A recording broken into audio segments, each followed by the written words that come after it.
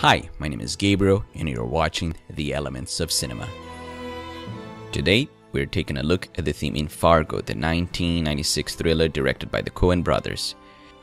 If you have taken a screenwriting course, you may be familiar with the concept of theme. Theme is often defined as the takeaway from the movie, the life lesson. It's a topic or a subject that gives unity to the story and provokes thought or discussion.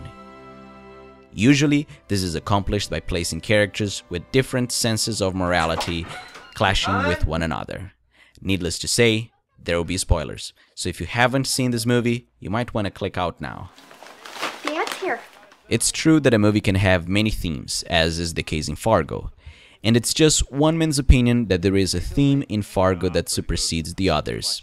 Before I give it to you, let's recap the story real quick.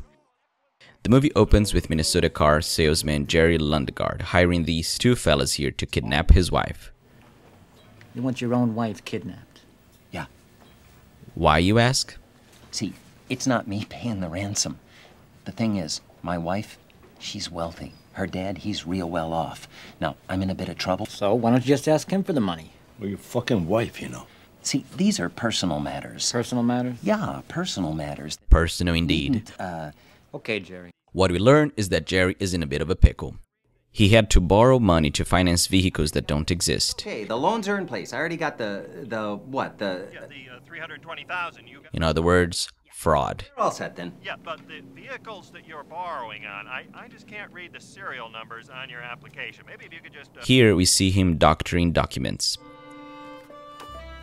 And so it becomes obvious that Jerry's moral compass is a little wonky, to say the least. In fact, when the kidnap finally happens, he has to rehearse his emotions. It's my wife. I don't know what to do. It's Jean. Yeah, Wade. I. It's Jerry. I, Does he really not care about his wife? Wade, it's Jerry. I. We gotta talk. It's something. That begs the question is he a gold digger? Did he marry out of self interest? No, no. but See, I, I, I don't need a, a- a finder's fee. I need.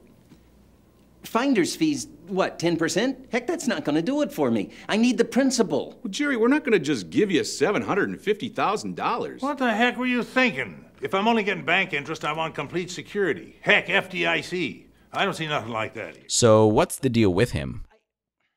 Well, he just wants more. He's not desperate per se. He has a decent job, a nice house, a beautiful family. Yet, he wasn't happy. Money wise.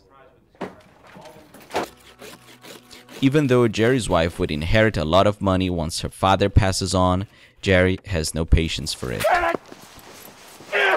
So, as you can see, it's not really about basic necessities or future security, because he got those covered.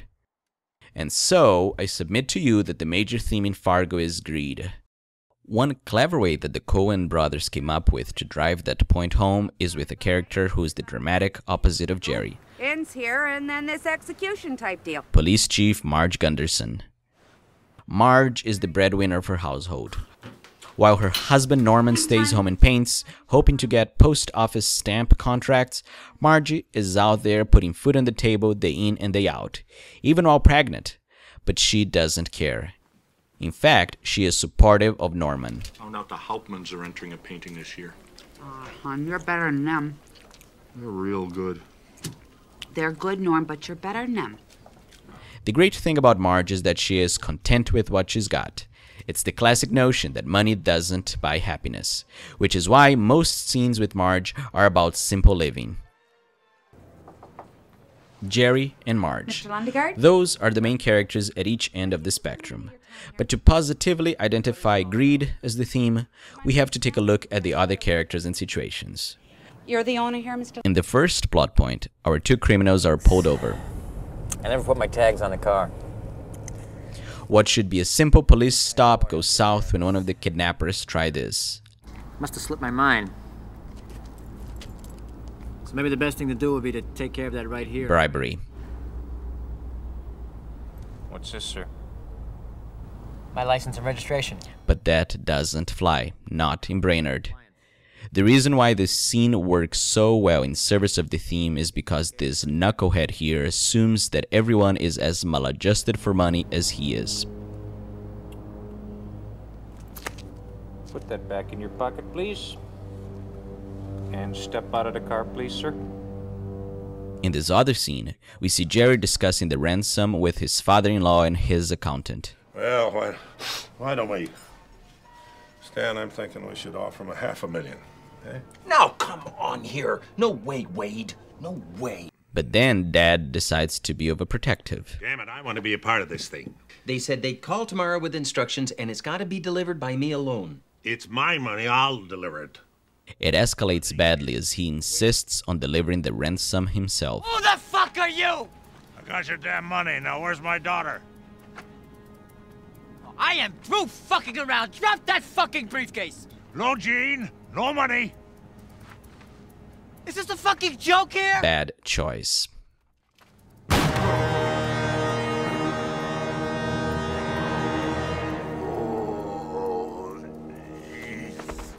Happy now, asshole?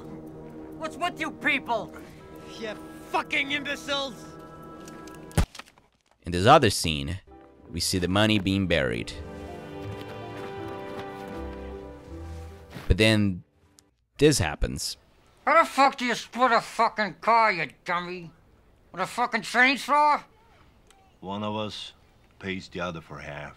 Hold on. No fucking way.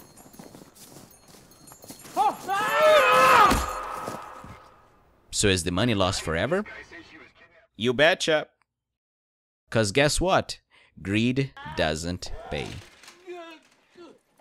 And thus, all perpetrators are either killed or taken under custody. And for what? For a little bit of money. And if you were still in doubt, Margie outright dispenses the life lesson here. There's more to life than a little money, you know. Thank you for watching the Elements of Cinema. See you next time.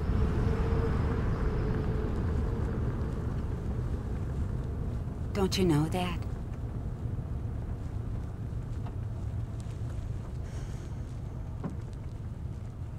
And here you are. And it's a beautiful day.